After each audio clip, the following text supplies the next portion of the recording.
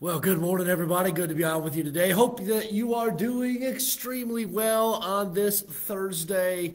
Uh, and trust that you've had a wonderful week. Uh, man, we're getting closer now to uh, to the weekend. We've got Sunday services, all that good stuff, and excited about that. Uh, we're also right in the middle of Vacation Bible School. Thank you so much for your prayers over the last several days.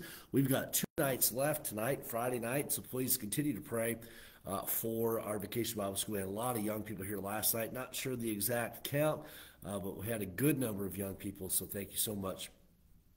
Uh, for your prayers and would encourage if you can make it out we'd love to have you out uh, come uh, see what's going on here at the church and we'd love to have you out for that all right we're going to be in romans chapter number two hit that share button real quick uh, and we'll get started here in just a moment we're finishing up chapter number two this morning, and thank you so much for being on. Hey, I don't wherever you're watching from, doesn't matter. Hit that share button.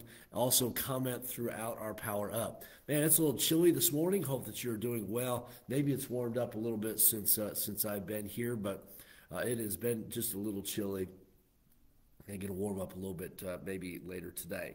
All right, here we go. Romans chapter 2. Let's look at verse number 24. Kind of backtrack just a little bit here and then get into uh, some verses for today. Verse 24 says, For the name of God is blasphemed among the Gentiles through you as it is written. Okay? So we noted that that the Jews were not an accurate representation of what God wanted for uh, mankind to see. They had received the law, but they did not practice the law in their hearts. Okay, so they uh, they were hypocrites. They looked the part on the outside, but their hearts were not right with God. And we then get an example of that here beginning verse number 25 and working its way down through the rest of the chapter. Let's look verse 25. For circumcision verily profiteth if thou keep the law.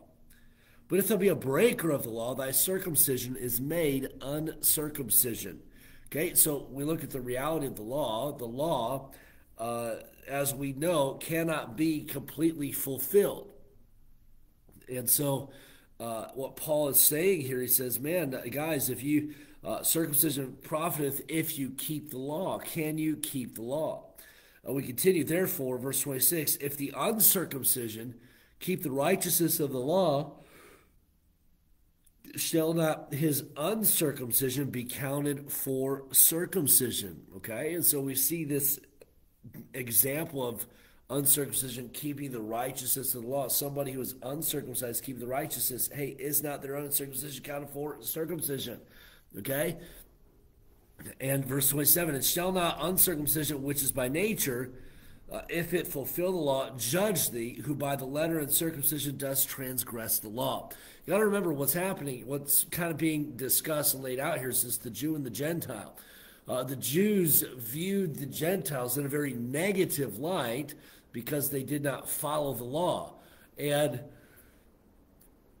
we see that even in the early church playing out. Paul talking to Timothy about uh, about this and the, these young men in the faith about circumcision and so on.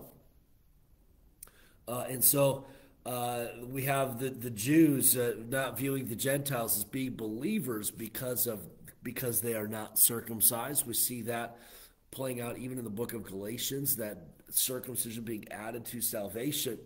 Uh, and the Jews kind of missed the point of circumcision. Uh, the Jews were very much focused on the outward presentation of themselves.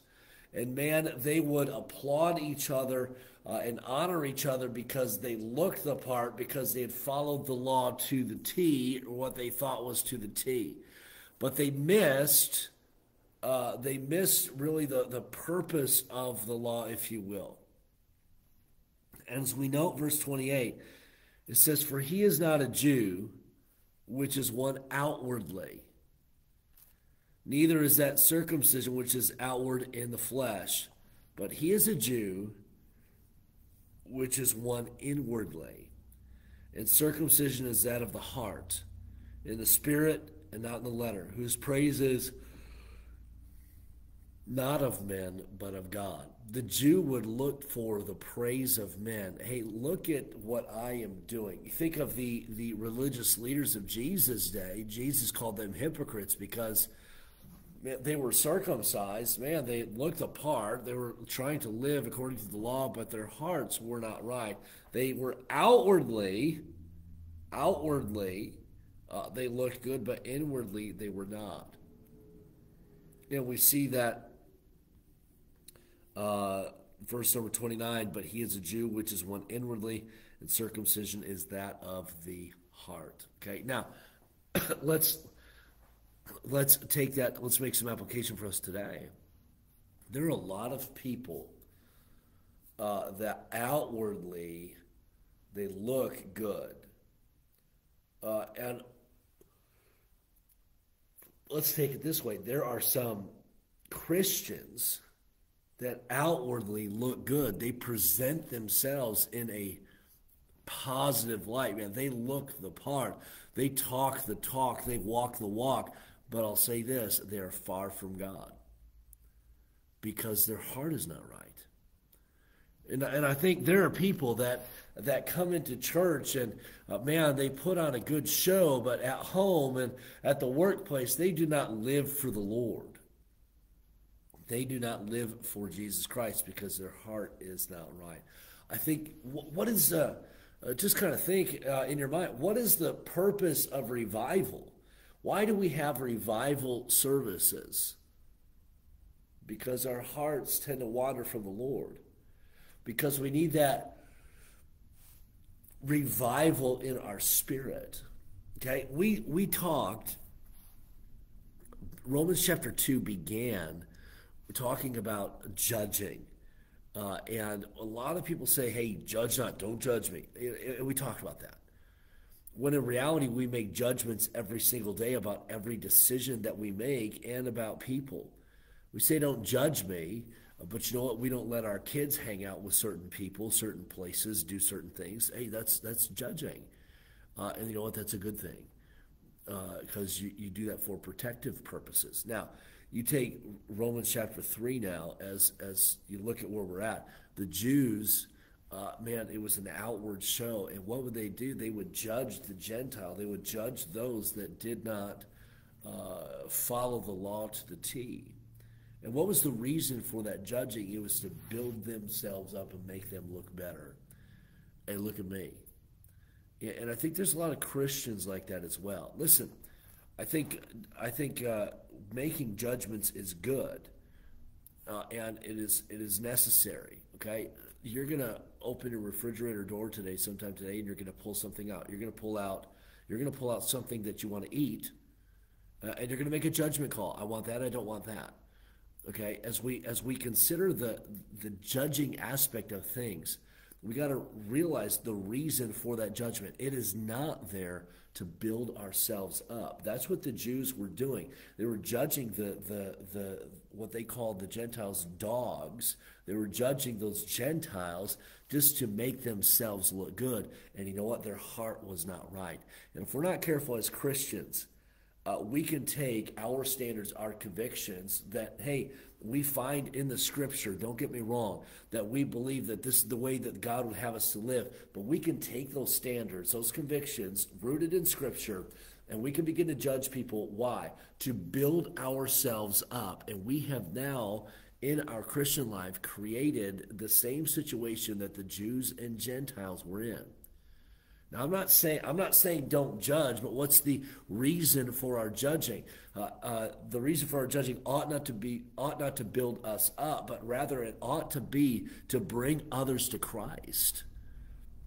And here are the Jews. They looked on the outside, they looked the part, but their heart was not right. And shame on the Christian who comes into the Lord's house, who, who, who opens their Bible and does their devotions, uh, and man looks the part but does not have a heart that is right with God. Man, we're just going through the motions. We're not real, as we mentioned yesterday. We ought to strive to be real in our Christianity. Our convictions, our standards ought to be rooted in the Word of God. They ought to be rooted in a love for God, in our response to God's love for us. Uh, and and we ought to we ought to make sure that that what how we portray ourselves on the outside is a result of what God is doing on the inside. We can't get it backwards. There's a lot of people. I've talked to some people and say, "Man, I'm just not ready for this God thing yet. I need to work on myself first. No, you need to let God work on you. And you need to allow God to grow you, to develop you. And you need to allow uh, godly people to be used by God to disciple you. Then we'll see that that change. But you know what? God is the only one that can change a heart. God is the only one that can save. And it's not you getting right first and then trusting Christ. No, it's trusting Christ and then allowing God to change you. That is so very important.